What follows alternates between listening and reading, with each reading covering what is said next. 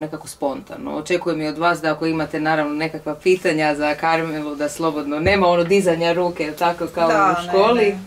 E, ja ću pokušati e, nekako postavljati zanimljiva e, pitanja, odnosno pitanja na koja ćemo zasigurno dobiti zanimljive odgovore. Vjerujem da ste neki od vas i upoznati sa svijetom naše Karmele i sa njenim romanima, možda i nekim pričama. Ako ne, onda ćemo danas saznati e, malo više. Ja sam zamislila nekako prvo pitanje, onako klasično novinarski, nemojte mi zamjeriti. E, e, tko je Karmela Špoljarić? Prvo, ja sam Karmela. Naglasak, Vidite, ja sam mislila da ste da. kao pravi Zagreb Karmela. Da, ne, Karmela, ovaj, ba mi na drugi slog naglašavamo. Mm, dobro, onda ste bliži. Ali, da, ali ko sam ja? Pa ne znam, književnica, vodim radionice, eto, E, rođena sam u Zagrebu, živim u Zagrebu i sad da ne idem u biografiju nekakvu, ali uvijek se, e, završila sam i primjenjenu i književnost, kasnije magistrirala, uvijek sam se vrtjela oko nekakve kreacije i nekakve umjetnosti i mislila sam da ću u životu slikati. I tako, ali sam zapravo 20 godina sam radila nešto sasvim drugo, radila sam i diplomaciju, ministarstvu vanjskih poslova i tako dalje, tako da imam još jedno zanimanje u koje sam onda na kraju stavila u spremište u arhivu akadetoni i vratila sam se zapravo onim svojim korijenima ono što sam, onome što sam studirala. Iako kažem, uvijek sam mislila ću se vratiti na slikarstvu jer sam trebala ići na tu likovnu akademiju i nisam otišla i to me cijelo vrijeme ono peklo i mislila sam, pa ne znam, budem ja, ovaj, sad ljudi studiraju i upisuju i kasnije, budem ja negdje otišla van u Europu, nešto ovaj, ću ja upisat nekakav, nekakvu akademiju likovnu, pa ću se ja vratiti slikanju i tako dalje. Međutim, onda sam nekako počela, iako sam ja od uvijek nešto negdje pisala, ali nisam pisala književnost kreativno, Onda sam uh, upisala je slučajno jednu radionicu scenarija, jer me, veliki sam filmofil, pa me to mhm. onako privlačilo. I, ovaj, I napisala sam jednu priču i to je ta prva priča, uh, baš sam je ispomenula sad nedavno, moja uopće prva priča koju sam napisala i koja je sve nekako, svima se nekako jako svidjela, a upravo je bila priča, tema je inače Noć knjige je umjetna inteligencija, nije to nužno tema ovog razgovora, ali jest a ja sam baš u toj priči spomenula neku vrstu umjetne inteligencije. I, ovaj, I onda su mi rekli, pa to je super, to je za roman, to je ovo, to je ono. A ja sam to zapravo brala kao priču koja bi bila, mogla biti nekakav scenarij za nekakvu seriju tipa Zone sumraka, tako nešto, jel? Mhm. Jer trebali ste napisati svoju priču da biste je stavili u neki scenarij. I to je bila moja prva priča. I onda sam ja krenula pisati tako malo ovoga mistično, fantazi. U međuvremenu sam pisala i taj prvi roman i o Twin Peaks koji kao neki magijski realizam. I tako sam ja zapravo počela e, pisati.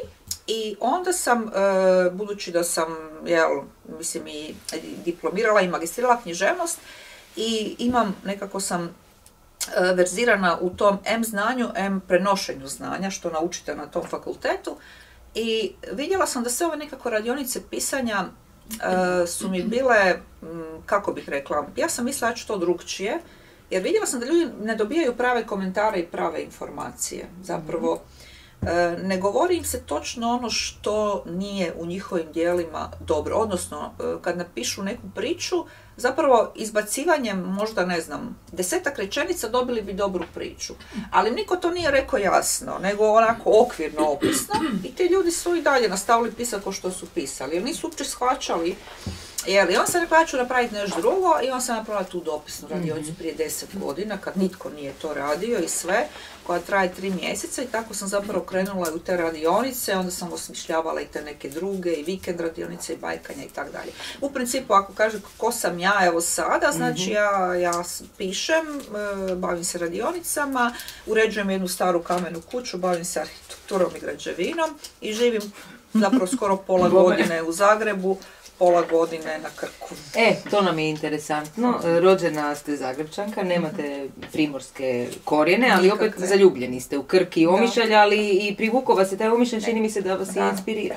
Ne, ja sam zaljubljena u more. Mhm. Ja sam u more zaljubljena, ali more je meni ono apsolutno mislim, ne znam, ja uvijek kažem, ako postoji nekakva reinkarnacija božanstva na, na ovom svijetu, to je more. Meni je more ono, izvor svega, od djetinstva.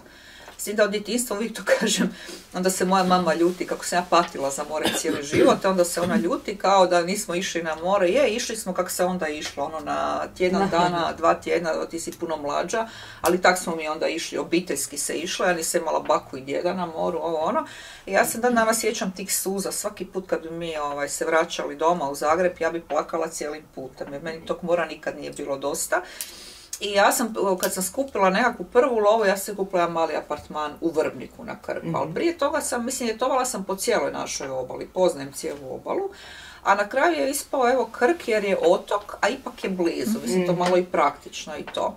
I onda sam htjela nešto veće, pa sam tako u taj Omišaj došla u taj stari grad, ja samo stare gradove priznajem. I, ovaj, e, i tako, sad da me Omišalj inspirira, inspirira me more, inspirira me otok.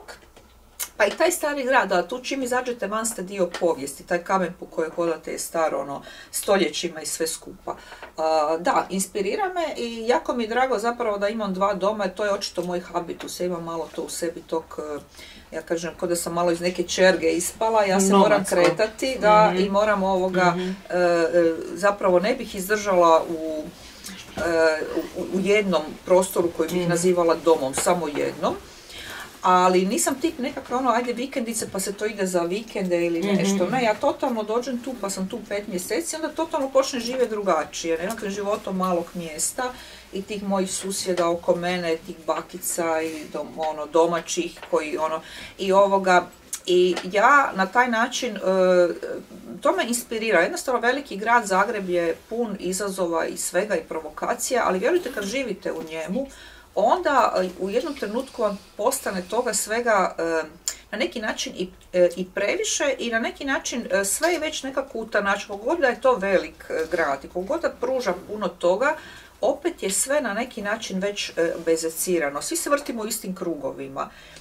Jer zapravo ljudi, mislim, umjetnost je uvijek u centru grada, mislim, uvijek je to tako i sva kazališta mhm. su tamo i svi, svi se mi vrtimo na tim istim mjestima i većina ljudi uopće ne bi napravila neki iskorak i otišla negdje. Kamoli ono, mislim, ono, kad im kažeš da bilo gdje idu izvan grada, bože sačuvaj, ne, sve, sve, sve su kave u centru, sve je nešto.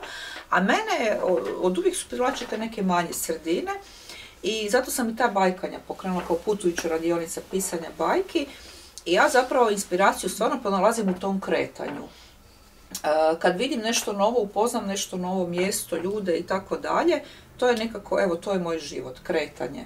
Sjajno. E, kada čitamo Karmelu, e, neki od vas jeste, evo i ja sam nedavno se počela, ušla sam malo dublje u romane, pa onda vrlo jednostavno pitanje, čitamo li nju, odnosno vas, Karmela, ili čitamo o nekome drugome? Što joj je teže, a što joj je draže? I može li se uopće na to pitanje odgovoriti? A mislite da li pišemo sebi ili mhm. pišem da? pa gledajte, to mi je razlika između, uh, evo, ove djevojke koje su bile kod mene u radionici znaju sve te moje komentare koje sam pisala uz njihove te tekstove i sve, sve su to prošle.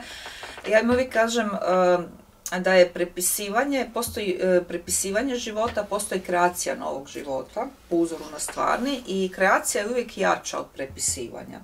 Što znači, vi kad pišete i u prvom licu, i na izgled pišete o sebi, vi ne pišete o sebi, jer vi ne možete biti u istom tekstu i autor i lik, nikako. Mhm.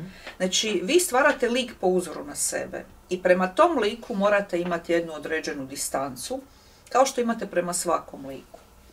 To je jako važno.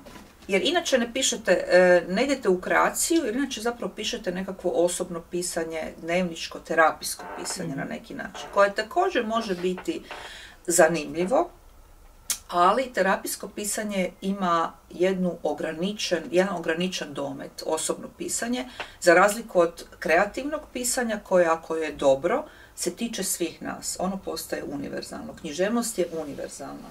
Znači, vi ako pišete o, o sebi, o nekakvom svom konkretno specifičnom doživljaju, vi to možete napisati jako vješto i to može biti jako zanimljivo. Ali znajte da ćete imati puno uži krug čitatelja. Dakle, to će zanimati mhm. nekoga tko poznaje vas, znači prijateljica, mama, sestra, tako dalje, ovo ono, ili nekoga tko je doživio isto što i vi. Tipa, ne znam, pišete o rastavi braka ili ne znam, tako nešto. Ovoga, ali dalje od toga ta, ta, taj tekst neće ići. Znači, jedan dečko od 18 godina vas neće čitati. Mm. Jer to je jednostavno, to je, to je pisanje za uži krug ljudi. Znači vi morate uvijek ići u kreaciju. Često znam reći mojim polaznicima, često ću spominjati moje polaznike mhm. jer ih ja jako volim i cijenim. Jer ja smatram da je e, prenošenje znanja zapravo jedan sveti posao na neki način i da zapravo ako ste dobar učitelj da učite od svojih e, učenika, polaznika. Znači, kod nas je uvijek komunikacija ide u dva smjera, tako da ih ja često spominjem.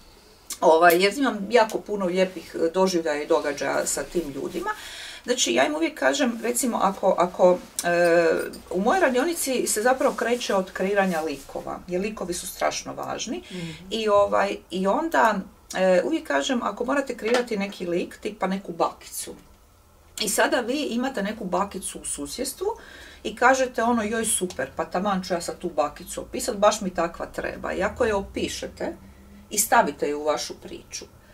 Ili ako idete kreirati jednu no-name bakicu, ali ćete vi iskreirati, vi ćete u sebi probuditi mehanizme, slike, sjećanja koja niste ni znali da imate. I ta bakica koju ćete kreirati, će biti bakica koja iza sebe ima nekakvih sto izvora najmanje, razumijete? To će biti bakica i ova vaša, i, i mhm. bakice, sve bakice koje ste vidjeli do sada na ovom svijetu i koje ste gledali u filmovima i o kojima ste čitali. I vi ćete, znači, kreacija uvijek ima u podlozi puno veće, više inputa nego nešto konkretno. Znači, ovdje prepisujete život, jel? prepisujete mhm. lik, a tamo kreirate novi lik. Kreacija je uvijek jača od prepisivanja. Upravo to, ja nikad, e, ja i kad pišem u prvom licu, naravno da ne pišem o sebi, ali to su sve iskustva koja sam ja prošla, ne nužno ja, nego koja sam ja vidjela da drugi ljudi mhm. prolaze i tako dalje i onda sam ih stavila u jedan lik, jel?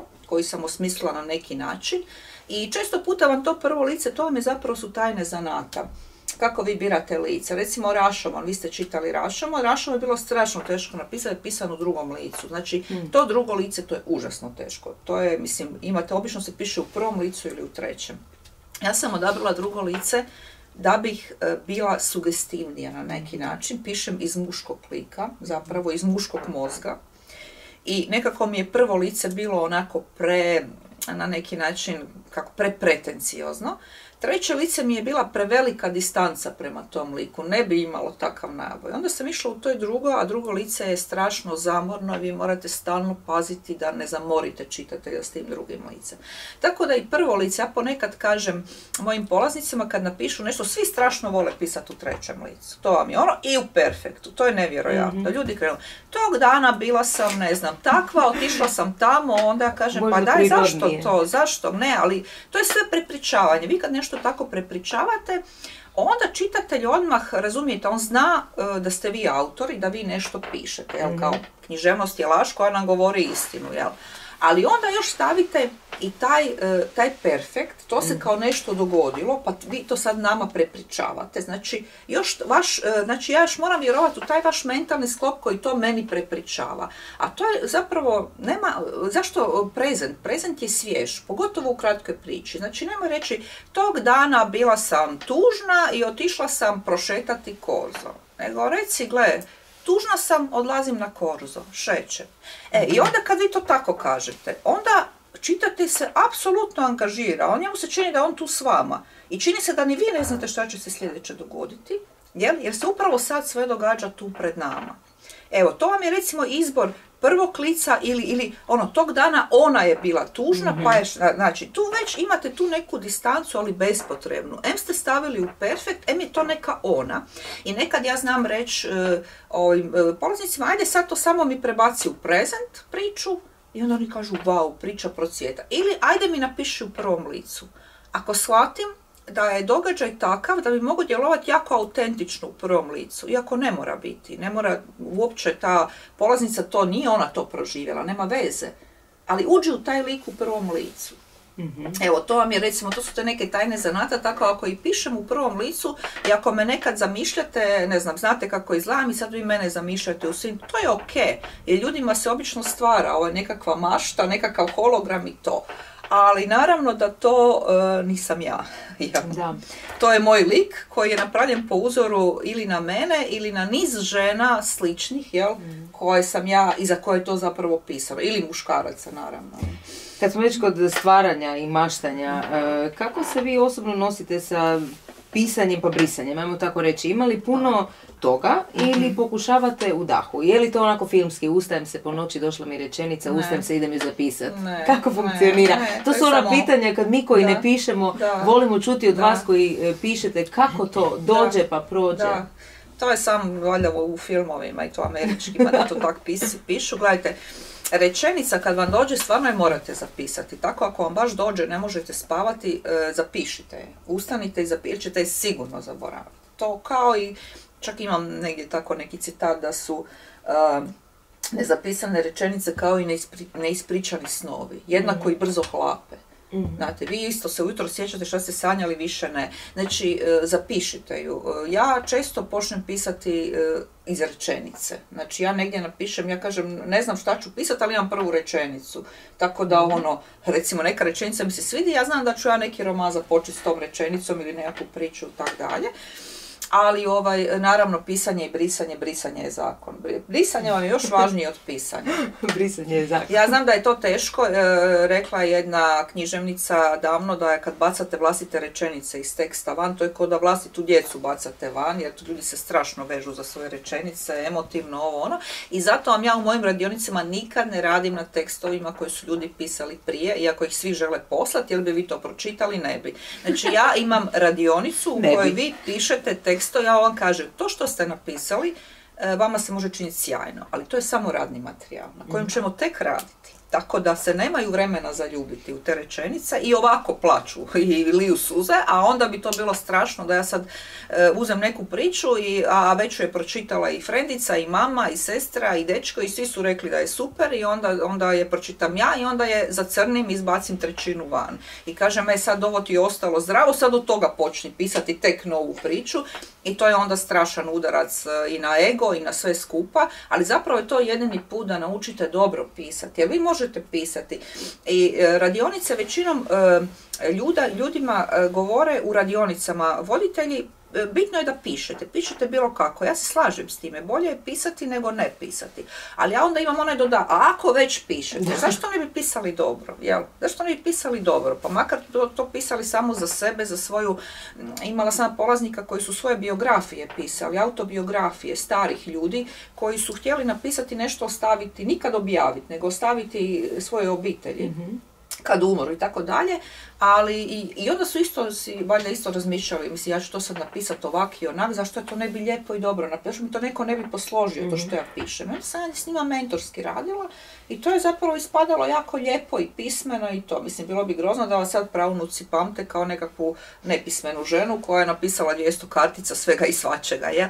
Tako da, ovaj, ako kažem, ako već pišete, zašto ne biste pisali dobro i na svakoj radionici ćete sigurno nešto naučiti, kako pisati bolje, kako pisati dobro i tako dalje. Naravno, voditelji su razni i to se skupa, a moja radionica je specifična po tome što kod mene morate pisati dobro. Inače, ovaj, vas ne pustim dalje na sljedeći zadatak. Znači, brisanje je zakon. Brisanje je zakon, ono, koliko piš, recimo, e, kad pišete roman, e, ako ga pišete godinu dana, pravi vam pisac, znači pisu vam je najteže se odjeliti od svog teksta. To pravi pisac, to, to, to, su noćne more. Kad ćete poslati tekst uredniku ili nekome? Vi ono već ono radili bi na njemu još, još, još čitate.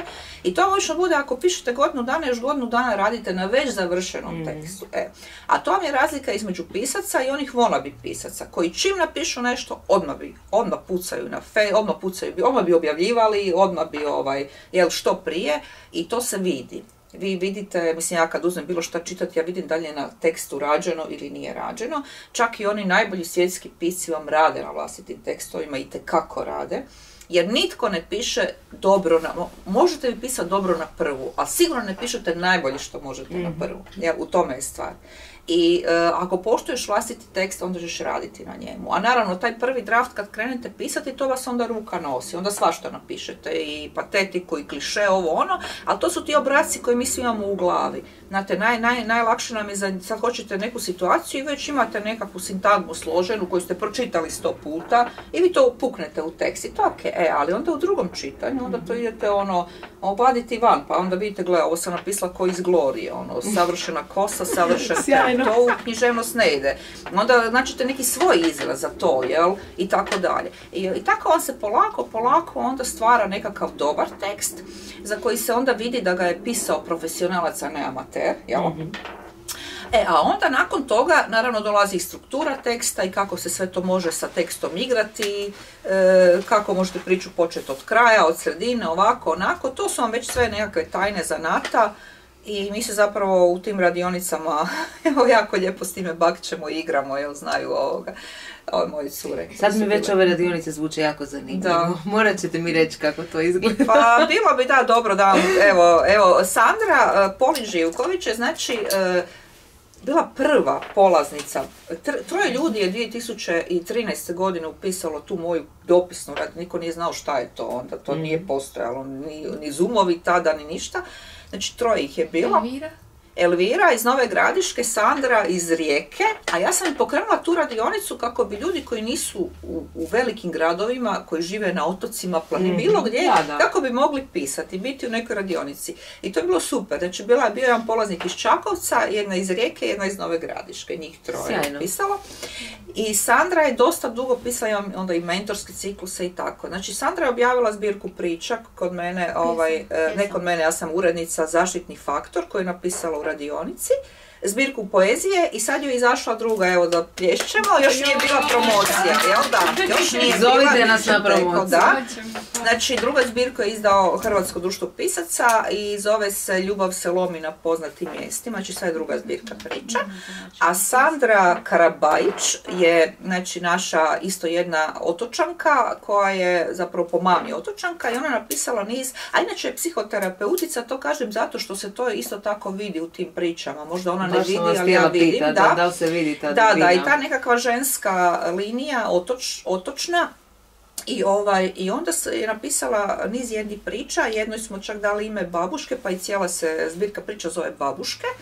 Ovaj, I govori o ženama, otoku, tijelu, bolesti i tako dalje, preporučam također jako dobro. Tu je i moja treća polaznica Milena, koja uvijek kaže da kad idemo negdje na radionicu, kaže ja sam se došla samo odmoriti, ovaj, ja, ovoga, ja ne znam šta ću napisati, ali ona je već davno počela pisati nešto što nikako, ja naime potičem sve ljude koji dođu, a koji znaju neki dijalekt ili govor specifičan, eh, jer to je za pisa veliko bogatstvo. Onaj tko stvarno zna. Jel, ja recimo znam zagrebački govor i to je to. Ja ne, ne znam dijalekt, jer mhm. postoje dijalekti i govori, ali ima nekakvih ljudi, ljudi koji su, ne znam, su odrasli u, ta, u takvim mjestima ili su, ne znam, valjda sa bakom i djedom tako puno razgovarali pa su to se zapamtili. Tako Milena poznaje jako ovu, dobro ovu čakavicu iz Ledenica, iznad Novog Vinodolskog. Da. I baš može pisati ono fluently na, na to, A, pa to na tom nariče. I ona je... Da, to bi bilo sjajno. Da, i ona je zapravo još kod mene davno napisala nekakvih nekoliko tih priča i kao rekli smo pa to napiši sigurno će neko objaviti. To su zapravo priče iz tog kraja, iz tog sela odakle njena mama koje se pamte, prenose s koljena neke dogodovštine unutar tog sela. Tako jako idilično, jako onako kod Arkadiju, nekako, mm nekakav stari zaboravljeni svijet. Jako zgodno i mislim da sad uh, piše dalje Milena, jel krenula si dalje s tim. Sad je, mislim da bi, da. evo nikad nisam bila bliže da to da. finaliziram. Evo. Obavijestite nas da, da tako da se nadamo da će biti još evo, jedna knjiga e, koja je zapravo potekla davno u mojoj radionici. Da. Sjajno, Karmela, odlično. E, onda kad smo već kod e, teksta, vratit ćemo se malo na, na vaš, na zadnji, hoćemo na zadnji. Ne znam je, je li neko čitao, ali evo, možda kad smo već, obucite se, možda kad smo već na tekstovima, pa evo, ako se ne varam, e, zadnji roman, posljednji objavljeni je Ulica Jorgovana. Ulica Jorgovana, Na prvi pogled zapravo nisam stigla sve. Ja sam došla doma sa hrpu jer sam neke čitala na studiju, ali sad zbog ovoga sam uzela sve doma, ne mogu posao, ali sam ono prelistala na prvi pogled mi se čini vrlo prohodan, vrlo mhm. jednostavan, vrlo linearan, no čitajući malo dalje i čitajući kritike, čini mi se da tu ima jako puno igre sa mhm. likovima, sa čitateljem, mhm. s vama. Malo mi baca na postmodernizam, nemojte se ljudi. zapravo ta jedna dubina, a lakoća. Da, nakon Rašomona koji je pisan iz muškog lika, iz muške nekakve da, vratit ovaj, se da, glave, ovaj, ja sam e, zapravo, e, ja sam čak sam htjela napisati nekakav ono ljubavni roman, što ja nikad ne, te muško-ženski odnosi, to vam je tako, to je jako popularno. I onda e, većina e, ženskih pisateljica zapravo voli tu temu i onda ju na neki način stalno piše o to, stalno piše o tome, a ja to nekako i gledam ono, mislim, nije, nije mi to, i to vam je ono ziher, sad ćete vi pisati o tome i znate da ću vas čitati barem žene, ono. barem žene u srednjim godinama. Klasični ljubić. I tako dalje. Ono, to je onako populistički, populističko pisanje i ima stvarno knjižnice kod nas koje su na tome napravile karijeru, jel?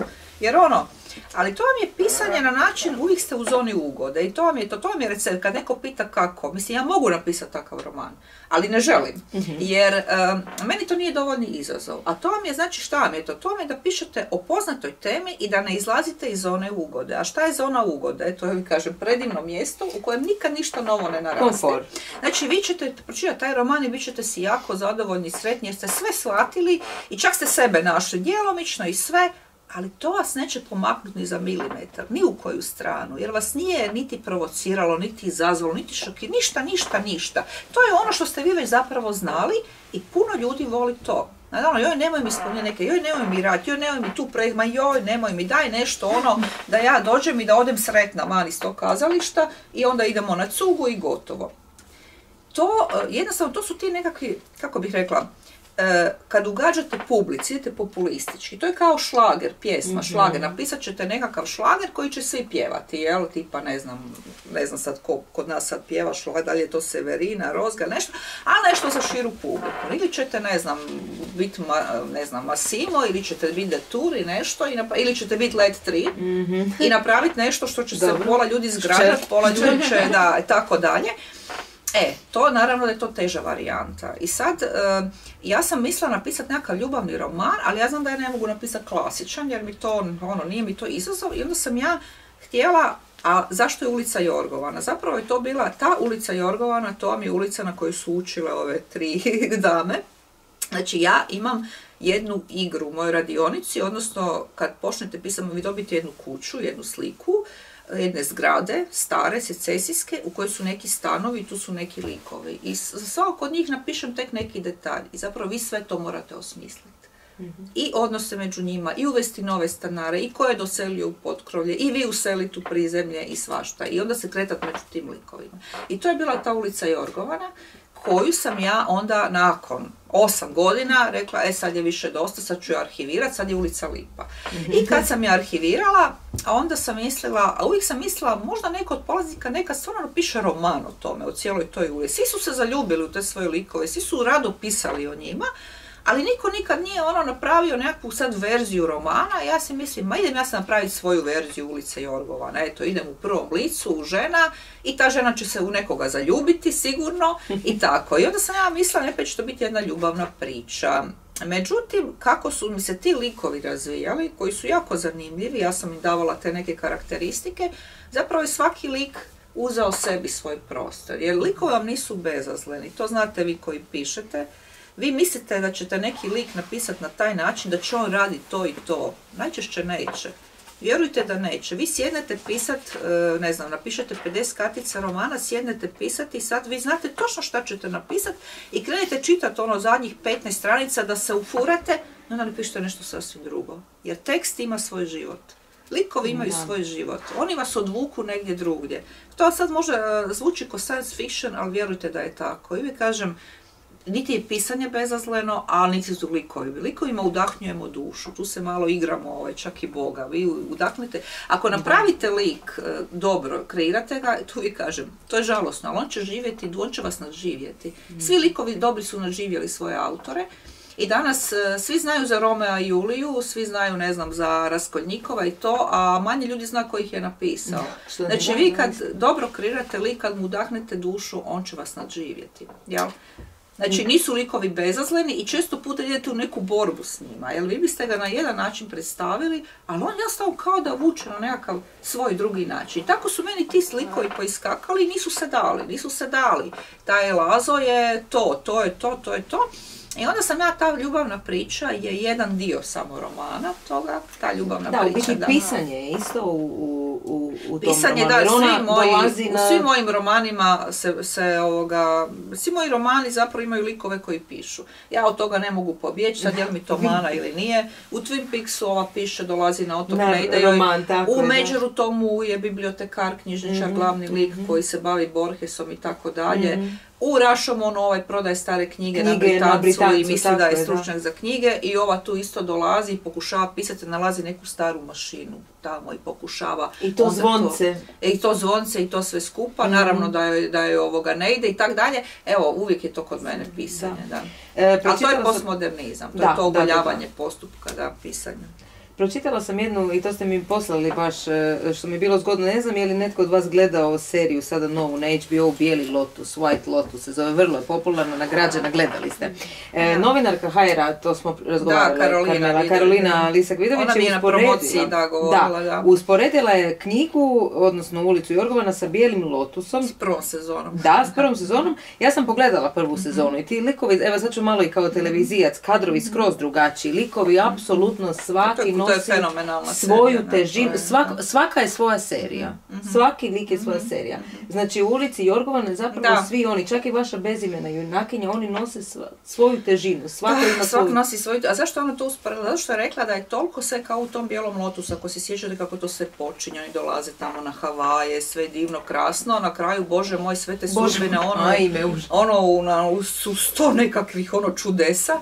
I ovaj, tako je rekla ono, veli, ova knjiga će još izbati, ona je tako rekla i cipela, jer zapravo kraj je takav da uopće ne očekujete da je takav mhm. i ovoga, to će vas ono, baš taj obrat će vas jako iznenaditi i tako dalje.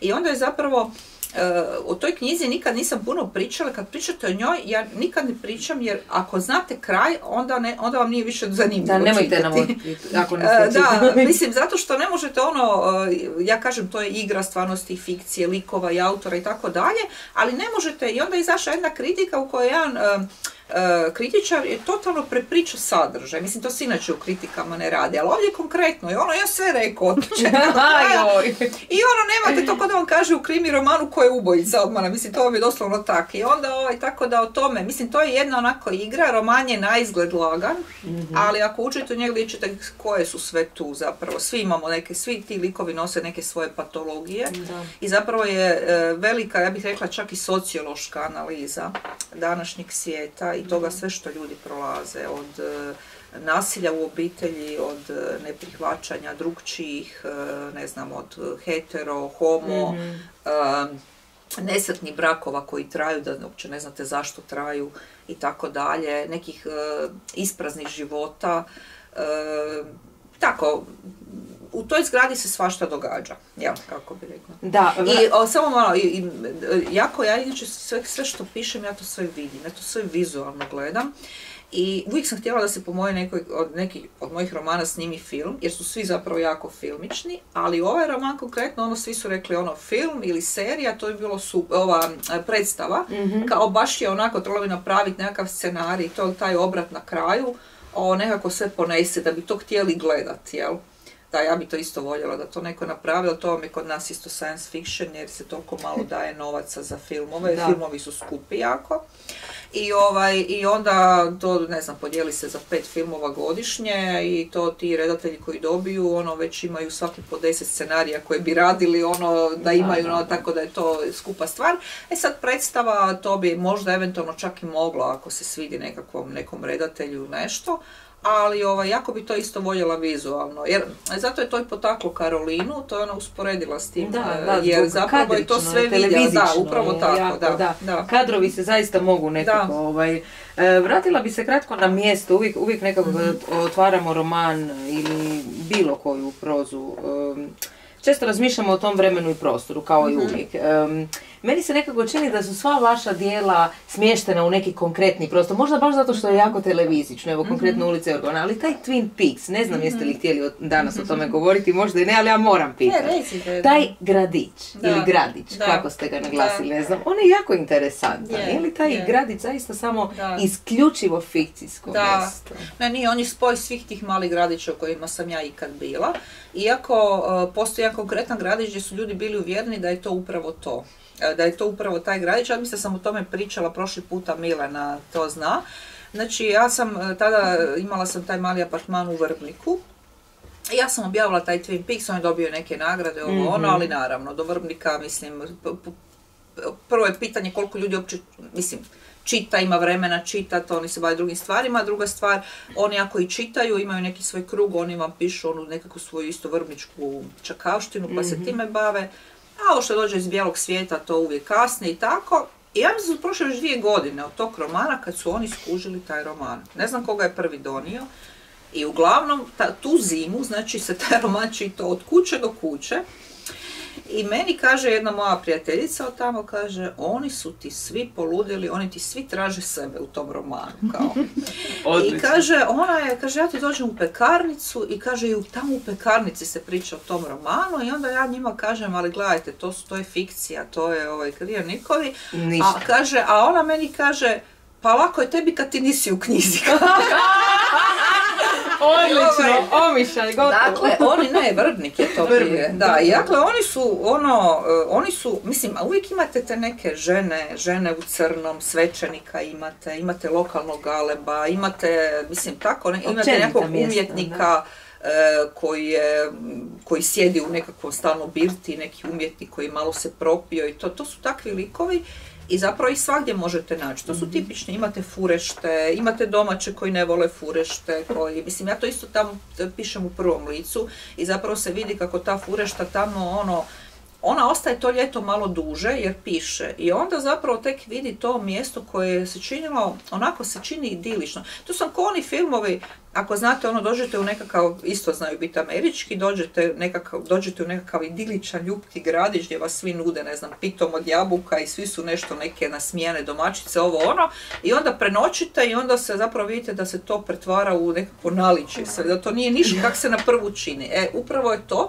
a Twin Peaks je kao jel, David Lynch, kako je tamo, isto, Twin Peaks je isto takav gradić bio, da, da, I onda se odjedanput ti likovi zapravo pokažu neke svoje druge strane, ono, malo se, ono, po vampira, onda postoje neke kolektivne tajne o kojima se pred strancima ne govori uopće i tako dalje. Joj, sjajno, ali moram pitati, taj malo magijskog realizma, kao što ste rekli, malo zapravo puno, to je zapravo jedan e, u tom e, gradi, gradiću, zapušete jedan poseban vjetar. Ulenat. Ulenat, sjajno. Ja sam odmah zamislila neki burin. Mm. I on zapravo donosi taj neki među ljudima kao neki zaborav, da, kao neki kolektivni deliri. I onda, tajna, a, oni to nikome ne govore, da su turistima koji dođu. to se krije, Ma što vas i, otkud vam to, što vas je inspiriralo? Da, ali pa inspiriralo me upravo to što oni imaju stvarno takve, oni vam imaju, oni vam sjede, recimo sjede za svojim tim stolovima i u jednom trenutku ja sam to znala promatrati, se neka tema načne i oni se svi ono pogube u to, oni nešto, oni pričaju na to svom dijalektu i sve skupa. I ako vi pogledate, kad bi slučajno nešto pitali ili onda ga vas spazi, onda svi zašute odjedanput, svi zašute. Jer neke stvari, nekim stvarima se ne govori pred furištima, imaju nekakve svoje tajne, a to su vam tajne koje sežu u ne znam koje. Onda sam ja preko te moje jedne poznate koja nije vrbenčanka, ali je udana za jednog vrbenčana mhm. i to jako dugo, to je jedna starija gospođa, onda bi ja od nje saznala, nisam ja pisala o konkretnim e, stvarima, ali bi saznala zapravo te neke stvari, vi, e, mislim, kako bi rekla, vi sjedite tamo i netko prolazi i za mene je to nekakav običan čovjek, cura, ali ne, nije. To je osoba koja nosi na svojim plećima 200 godina povijesti. Mhm. I onda ona meni vidiš, ova ti je njen djed, to njen djed je bio tamo, pa je došao tu, pa je ovo, pa je ovo bio vambračno dijete, pa je ovo, mhm. ne znam, to, to je ono, ne, ne, nevjerojatne su stvari. I ovaj, meni to bilo onako zanimljivo. I onda taj, velim, kako taj magijski realizam, mm zapravo sam ono, veliki fan Markeza i tako dalje. Vidi se. A kod njih je, da, kod njih je normalno, ne znam, ako se čitali sto godina samoće i sve te njegove druge knjige, zapravo što je magijski realizam? To nije fantazija, fantastika, ono pravom smislu riječi. Magijski realizam je kad vi zapravo tu začudnost prihvaćate kao nešto normalno. Prirodno. Prirodno. Recimo da ste ikad bili u Južnoj Americi, možda netko je, ne bi vam to bilo ni čudno, ja sam bila na Kubi. I tamo vam je zapravo tako, oni vam vjeruju te svoje, eh, oni štuju tu svoju majku Božju koja je zaštitnica Kube, ali kako je puno ljudi došlo eh, i tamo ima puno tih mulata, došli su iz Afrike, oni vam imaju oltare, ono, gore je majka Božja, doli su sve vudu, lutkice i svašta. To se, imaju, to se zove santerija. te religije, oni su povezali svoje mnogoboštvo sa tom, eh, a, a, usput još je tamo ono, ono tada je bio ono komunizam strašan koji brani svaku religiju, jel? mm Ali oni usprkos toga, oni su to sve nekako, i onda nije uopće čudno da jedan Marquez napiše da je nekakva baka Uršula umrla i da se ona pojavi za dva dana s njima mhm. opet za večerom i jede i normalno nije priča s njima. Jer oni, oni kao da žive ono povezani, ko nekad slaveni sa slavenskim bogovima, mhm. recimo, ne? Kad je bilo normalno da vi vjerujete da je baš taj bog Jarilo sad do, donio to proljeće i da je ta Božica Vesna tu i sve skupa i njima se klanjate i tak, tako oni. I ovaj, onda sam ja malo htjela taj duh unijeti i to se zapravo dosta ljudima čak i sviđalo, iako kod nas e, taj magijski realizam nema nekakvu, postoji jedna jedna linija hrvatske fantastične književnosti, mm počinje negdje od Matoša i mhm. njegove more, mm onda Rikat, Flider, Jorgovanć, tako da. Ljudi su povremeno pisali takve pričice, ali baš ovaj magijski realizam, recimo Olga Tokarču koja je Nobelovka, ona je nju zovu poljskim markezom. Ona je u svoje prve dvije, tri knjige također pisala tako. To su fenomenalne knjige, Dan denji, Dan noćni, Pravijek i ostala vremena. To se utopite u tim knjigama gdje ona povezuje i prirodu, i bogove, i svašta. Fenomenalno bude, ne znam, naša Ivana Brlić-Mažuranić sa svim onim i tako ali ja kad sam to objavila, neki ljudi su bili oduševljeni, ali neki ljudi uopće nisu, ako, ako, ako nema recimo neke stvarnostne proze, ako vi ne pišete o nečem što se događa, socijali, mm nasilju, ratu ili nešto, to neki ljudi uopće ne zanima, ne, ne, ne žele čitati. Tako da taj magijski realizam, na kraju sam i ja prešla u tu neku stvarnostnu prozu, iako ovoga uvijek na neki način nastojimo staviti malo te magije u mojim tekstovima. da, magijski realizam kod da ne prolazi dovoljno ovdje kod nas, mi se volimo uvijek naći u nekim problemima, mi, mi Hrvati pogotovo, mi se volimo naći u nekim problemima, čitati o mhm. nekim stvarnostnim, evo rekli ste rat pa ćemo prijeći na Rašom, onako se mhm. slažete. E, samo još jedno kratko pitanje, jako me zanima. Taj pulenat, pulenat ste rekli, više baca na jugo... one ruže, ruže vjetrova, jedan od njih imate, jedan se zove pulenat i to mi ime nekako najbolje pasalo i nekako mi je najbolje pasalo otkud to nešto puše, pa je bio pulenat. E, rekli ste da ste filmofil mm-hmm. ili seriofil, može se vidjeti mm-hmm. Twin Peaks, ali i Rashomon zapravo mm-hmm. zazvonilo mi je. Kad sam rekla Rashomon zazvonilo mi jer nisam znala. Onda sam pitala muža, on isto filmofil, pa mi je rekao da je to zapravo ono, poznato filmsko remek dijelo, kako se zove? Akira, Kurosawa. To je kultno, ono, klasično da dijelo. Ali zašto? To je samo, znači, Rashomon vam je, oprosti što vas prekidam, e, to je ime tog filma. Inače vam to na japanskom znači to su neka vrata, tak nešto. Ali do dan danas sam je Rashomon ostao pojam za istu priču u više verzija. Mm-hmm. Jeste li htjeli nešto reći sam prekinula? Ne, ne, ne, ne, uvod je bio. Znači, e, u tom filmu Akira e, Kurosawa, taj film nema veze s mojim romanom. Da, nisam gledala pa Da, ne, nema veze nikakve, ali e, zove se Rashomon i nakon toga vam je Rashomon riječ ušla u hrvatski jezik i u sve jezike svijeta kad želite reći da se o istoj stvari govori na različite načine. Više verzija jedne istine. Da, tako recimo često ćete čuti politički rašomon u Bosni i Hercegovini. mm Gdje svaka strana o istome priča drugčije. To vam je to. I ja sam zove se Rašomon zato što se zapravo daje više verzija jednog događaja u, toj, u tom romanu. Ja. Je li to ratni roman ili je to prustovska potraga za izgubljenim da, vremenom. bravo. Ma znate šta, prvo nijedan roman nije ratni, nego su svi antiratni. Ja ne znam šta je ratni. Ratni Dobro, roman je možda Mein Kampf od Hitlera. Ne, ne, niste samo vi. Inače vam kažu, to vam je ratni roman. A svi su romani antiratni, zapravo poruka je antiratna na kraju, jel? ali ovaj, rat je tu u pozadini te traume, tog glavnog klika i rat je doista ovaj, kako bih rekla, u, u raspletu svega, kad on konačno dođe k sebi i sve, zapravo si je taj jedan slučaj iz rata. Jel? Znači on nosi dvije traume, ima tu jednu traumu potisnutu i drugu trauma je trauma ta ljubavni krah mm davno. Jel? I jedna i druga zapravo mu nije apsolvirana i nije ih proradio sam sa sobom, ni, sa, ni, ni sam sa sobom, ni sa nekim stručnim, ni sa kim. I obično takvi ljudi e, vrlo teško zapravo kad imate, evo sad, će, sad bi se mogla Sandra uključiti, ali kad imate nekakve, jer mi imamo i terapijsku radionicu jednu zajedno radimo, mm terapijsko pisanje i psihoterapija. Znači kad imate nekakvu traumu ili neku povredu, kako to nazvali, e, koju stalno vučete za sobom i koju ste, najgore ako ste je potisnuli. Ako ste je potisnuli, i ako počnete pisati, ja vam garantiram da ćete o njoj propisati kad mm tad. Jer to se meni masovno događalo na mojim radionicama, da ljudi misle da pišu o nečem drugom, a zapravo pišu o tome, mhm. jer pisanje je takav kanal, on otvara, on vas jako otvara. I zapravo, a sve što nosimo u sebi, teži izaći iz nas van. Sve teži izaći. Ili ćete to nekom reći ili u nekom razgovoru ili ćete to negdje nešto, nešto. A ono što smo potisnuli i zaboravili, to se upravo bori izaći van. Bori. I najbolje ako izađe putem pisanja ili nečega, jer će inače izaći putem neke patologije, bolesti ili nečega. Ja. I onda ovaj, uh, jednostavno to, to, to teče iz vas. I ljudi često kad dođu i kad počnu kreativno pisati, zapravo skrenu u to osobno terapijsko pisanje. Oni misle da pišu o jednom liku, o Apoloni, oni pišu o sebi. To mi se dogodilo toliko puta da sam ja nakon godina i godina toga vidjela i došla sam do jednog zaključka da zapravo ne možete od ljudi tražiti da se vrate u kreativno pisanje, nego ih pustim da ispišu to svoje. Jer jednostavno ne mogu biti kreativni dok to ne izbaci iz sebe. To sam mhm. vidjela jednostavno su zakočeni unutra. I kad to izbaci iz sebe, onda zapravo, i onda često baš i o toj temi se može kasnije kreativnog, ali kasnije, tek kad vi to absolvirate, kad ste izbacili, kad ste to prihvatili i s tim se pomirili, čak možete kasnije super o tome pisati. Evo, prvi roman iz moje radionice je Elvira Slišurić, baš bila.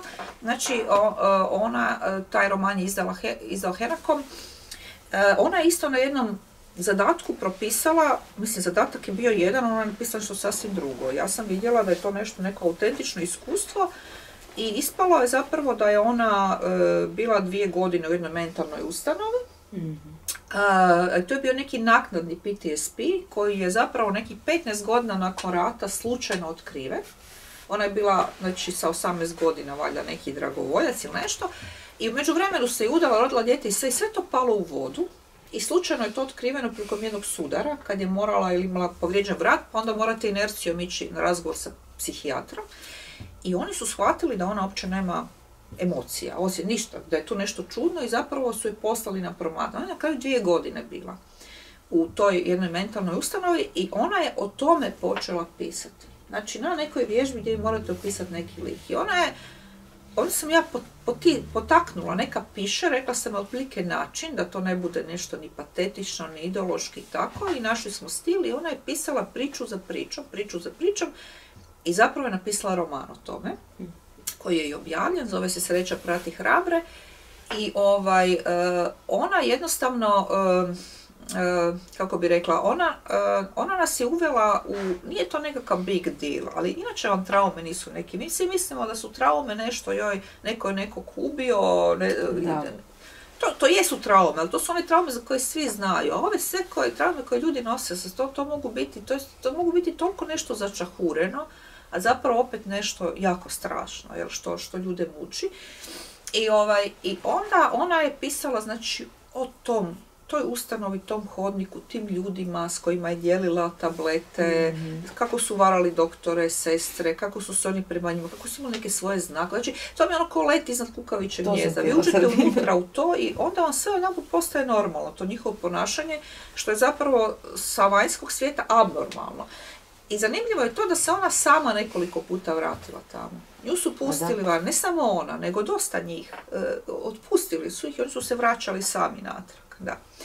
I vidite, vi kad počnete pisati, e, to jednostavno se očito nije moglo, to je jednostavno izašlo iz nje. Mm. Ovaj. I, e, a zašto se zove Sreća prati hrabri, to je isto zanimljivo, ona je naravno ostala i bez svog djeteta jer je u takvom stanju je nije mogla odgajati i dijete je samo reklo na sudu da hoće, želi živjeti s tatom jer se mama ne može brinuti o njoj. I onda je, ona kad je izašla van, dijete imalo već 18 godina, i onda se našla s njom i onda je ona rekla, znaš ja ću se tetovirat i onako valjda je mislila da će ona sad nešto reći na to negativno, a Elvira je rekla njoj, mislim to je stvarno zgoda, to je na kraju romana, pa super, ajmo zajedno, šta ćemo napisati? I ona kaže, pa sreća prati hraber, to ste mi uvijek ti tato govorili kad sam bila mala. Onda su se zajedno tetovirale na istom mjestu. To je lijepi, happy. Sad ćemo se još i rasplakati. Pa, da, da. ajmo ne, ajmo, ajmo završiti sa, sa osmihom. E, prije nego što imam mi nekoliko pitanja o umjetnoj inteligenciji, za kraj da ispoštujemo temu. može, ali tu, tu ali, zapravo uopće nisam stručnjak. Ne, nisam može. ni ja, ali možemo prokomentirati. Samo evo, Um, Karmela, što je sa bezimenim likovima? Mislim, Rašomon i mhm. čini mi se uh, ulica Jorgovana, jel vam to neka potreba ili jednostavno? A šta će im ime? Jel bi oni s imenom nešto dobili? Pa zapravo ne, zato pitam. zaista ne bi dobili ime. Da, Mislim, ja bi dobila, zapravo, to je upravo to. To može biti bilo tko. Ova žena u ulici Jorgovana možete biti i vi i ja i bilo tko. Mhm. Stvarno je nije trebalo ime. Znači iz tog razloga. Da, iz tog razloga, ali inače u pričama, u principu ta imena ljudi ja kažem uvijek, recimo u kratkim pričama, e, vi ako e, uvedete neki lik, recimo neki novi lik, i ako mu date ime, vi ste sebi zapravo napravili takav problem. Ovo je roman, pa sam ja, ona je mogla imati ime. Mhm. Ali ne znam šta bi joj značilo puno, znači nije joj bilo važno. Ali e, vi kad ime, recimo vi sad kažete, ne znam, došao je nekakav vodoinstalater i popravio mi lavabo E, ali ako napišete došao je vodoinstalater Ilija i popravio je lavabo, E, vi ste se s tom Ilijom zakopali odmah. Jer ta Ilija morate nešto s tim Ilijom izvesti. Ne može on se nazvati, ne možete mu nadjenuti ime i onda ga od, od, ono, otpirit. Otkud vi znate da se on zove Ilija? Znači imate neku povijest s njim, zašto baš Ilija? Možda će biti godan. Pa zašto je? Pa i to onda treba napisati. Razumijete, došao je sad, znači, a, o, čim ste dali ime, imenovali, znači možete imati neke sporedne likove, ali čim ste ih imenovali, dali ste neko ime, onda se to mora, to vam je ko ona Čehovljeva, to vjerojatno svi znate, puška koja visi, jel? Mhm. Znači to je ono Čehovljeva. Ako u prvom činu visi puška na jednoj vješalici, i vi je spomenete, ona do trećeg čina mora opaliti. Inače, nemojte ni spominjati. I nema smisla. Evo, to mi je upravo mhm. tako s tim imenom. I sad, da je taj čovjek, da je njemu neko ne, ime nešto značilo, mislim, uvijek spomenem da to krašom, ona vi kažem, to je lik koji je rađen, kako bih rekla, on je antilik. I Pisac mora, to vam je ono, sve to pismo, pisac mora voljeti sve svoje likove jednako, to morate znati. Znači, uvijek kažem da Dostojevski nije volio Raskolnikova i da ga nije mhm. kreirao kao da kreira neku opaticu. Da se da nije na, njega potrošio noći i noći, on ga nikad ne bi nadživio, nikad ga mi ne bi čitali, ne bi bio toliko uvjeren. Znači, to vam je ono, kakav je, takav je moje. Jer ako vi samo dobre likove, u njih se dajete, a loše, ovo samo, zapravo, i onda napišete samo pamflet protiv lika vlastitog, pišete i taj lik uopće ne zaživi, nije uvjerljiv i ništa. Znači, ovo je taj ja moj antilik s kojim ja ne dijelim gotovo ni jedan stav, jer on je nerealiziran, grozan prema ženama, s majkom koma, prema bratu grozan,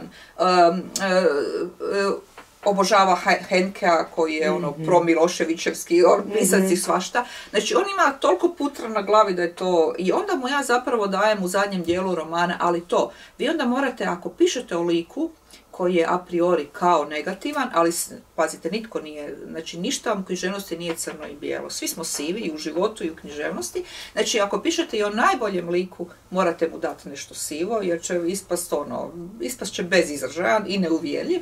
Tako i ovaj. Ima i on neki svoj dobri strana, ali a priori on je jedan negativac, ali onda vi morate pokazati zašto je on takav i mhm. dati mu i prostora i vremena i stranica da se opravda. Što on radi u zadnjem dijelu romana. On zapravo se opravdava na neki način. E, jedna od e, kritika za Rašomona, sad kad smo se već vratili još samo ovo, e, rekla je jedna od kritičarka da bi ovaj roman, da je pisan, da, da ga je napisao muškarac, bio puno, puno vidljiviji i prošao bi puno više. Da. Mislite li da zaista e, to žensko pismo u, ovoj tematici prolazi... to nije žensko pismo, ali Žensko pismo u smislu iz ženskog pera, isprike. Prolazi manje vidljivo nego... E, Pa apsolutno, ali ja sam zapravo možda jedna od književnica naših koja najmanje drami oko toga. Puno više ima mojih mhm. kolegica koje to, da, koje to mhm. javno i više iznose od mene i pišu i žale se, imaju pravo, apsolutno imaju pravo. E, to možda s pozicije, evo, čak i meni to dijete napisalo s 20 godina, da su naše književnice neopravdano, da ih ljudi ne čitaju jer misle da pišu monotono i da nekakve babske stvari samo pišu, mm tako nešto. Ali ovaj, ja nekako mislim uvijek da dobar, e, da zapravo ne dijeli se pisanje na muško i žensko, nego ja ako nešto i napišem, naravno da ovaj, e, osjetite nekad da, da muški pisci samim time što su muški svi smatraju da oni pišu onda nešto, ne znam, e, pametnije, čvršće, jače, dublje, nemam mhm. pojma, a da mi sve žene pišemo samo o muško-ženskim odnosima ili ne znam o, o, o shoppingu ili o takvim nekakvim, ne znam, seksi grad i tako dalje. Ovaj, ali e, ja mislim da opet tekst koji je dobar i koji je dovoljno jak mhm. i dobar nađe svoj put. E, ja, ja stojim za svi svojih tekstova, e, unijela sam u njih puno znanja formalnog, što formalnog, škola, tako dalje, iskustva, spisateljskog rada i svega. I ja stojim iza toga i stojim iza te kvalitete. E sad, koliko će ona biti prepoznata, ne, nešto bude prepoznato, dobijete nagrade, dobre kritike, vidjeli ste Rašomona i mhm. sve, ali opet neko drugi sa nekakvim dijelom za koje kažu ljudi da je ono ispod prosjeka dobije nagradu, a ne vi, recimo. I to je muškarac. E.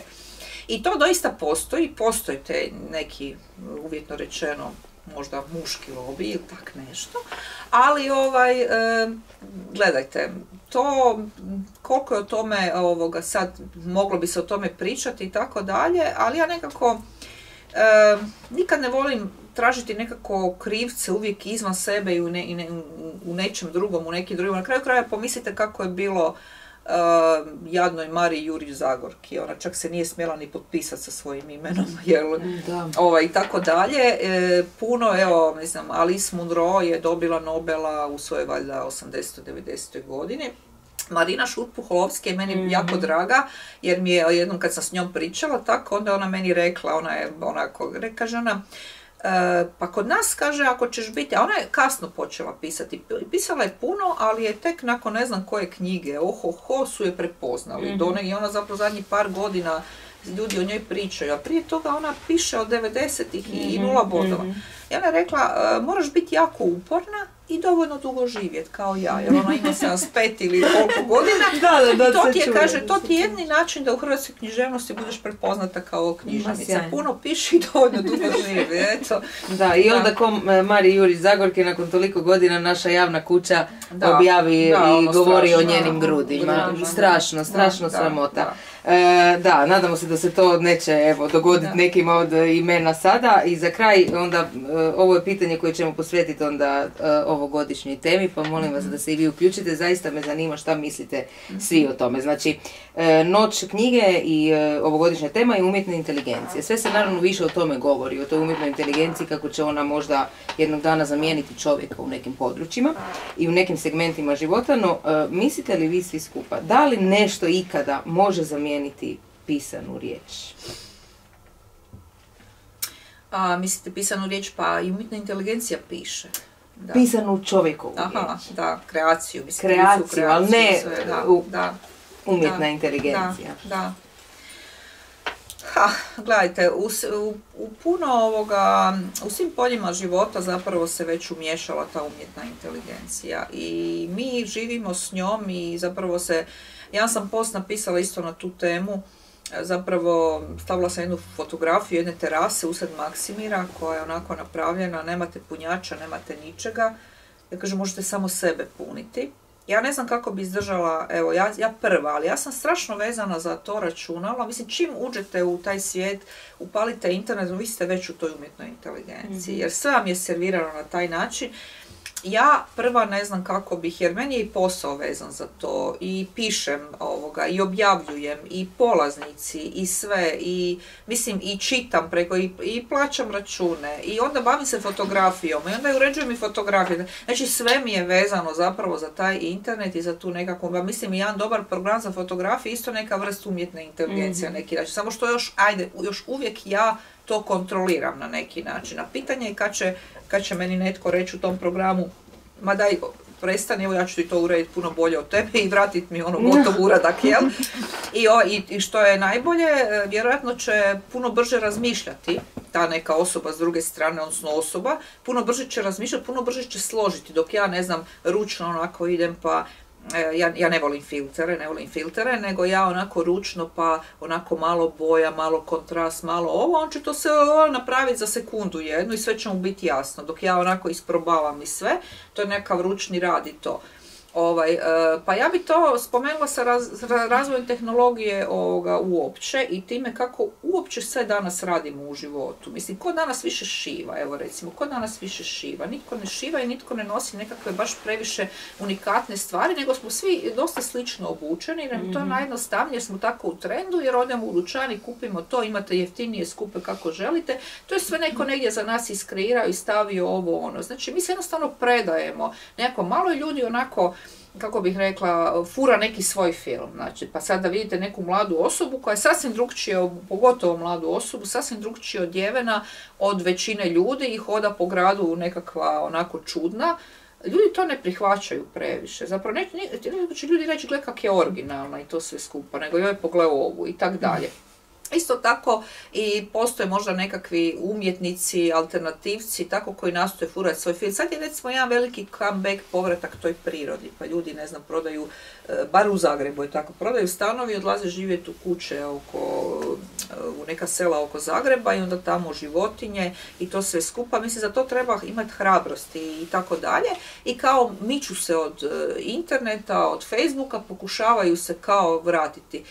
E, ne znam, meni, e, ja smatram da je internet jedno veliko otkriće, jer ja sam studirala književnost gdje ste morali čitati za jedan ispit po 50 knjiga. Ja sam obilazila knjižnice i knjižnice. Znači, dobro, vi ste mlađi, vi ste recimo, sad na Google ja provjerim jednu informaciju u sekundi. Tada sam ja morala otići u, u ne znam, u sveučilišnu i, i kopat, kopat da nađem neki pojam da bi o njemu napisala. Danas sam mi sve servirano. Da li bi mi više mogli bez toga? E sad je samo pitanje, a to sve što nam je servirano do dolazi, znaš, nekakvim eterom i u tom eteru je neka umjetna inteligencija.